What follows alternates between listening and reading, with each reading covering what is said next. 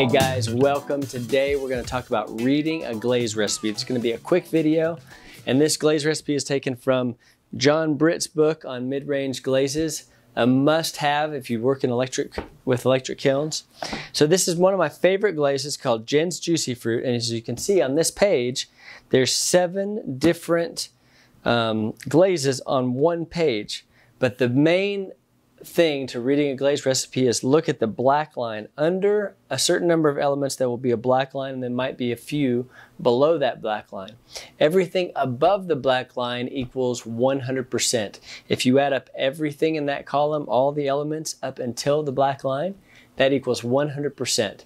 Now let me show you how to convert that to different size buckets. Okay, so I've just written out the basic recipe here on column D and you can see the elements in column B and then the percentages in column D. So if, if column D equals 100%, everything above the black line, then 100 grams would be that same number. So column F is basically a carbon copy of column D if I was making a 100 gram batch. Well, who makes a 100 gram batch except to maybe test a test tile or something?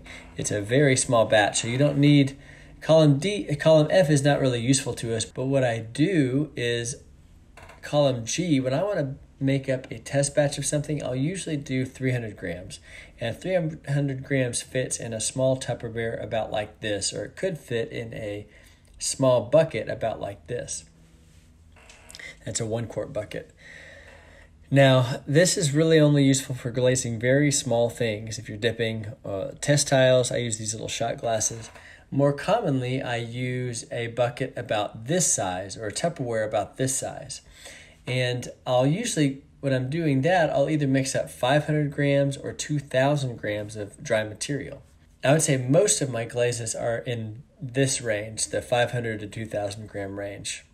So 10,000 grams is five gallons. 10,000 grams of dry material fits in a five gallon bucket. I really only have, you know, between three and five of these going at a time. These are my white mattes. These are my clear glossies that I use all the time. These are my liner glazes, maybe one or two colored glazes of a color that's selling really well. So I would use this size bucket, a regular five gallon bucket for 10,000 grams. Okay, that's all there is to it. So you can put any recipe you want in column B and then the percentages in column D, and it will add up how much you, of each element you need it, for each of these sizes of buckets. If you found this Excel file helpful uh, and you want to download it either as an Excel file or as a Google document, a Google Sheet, uh, click the link below and grab that for free. All right, thanks, guys.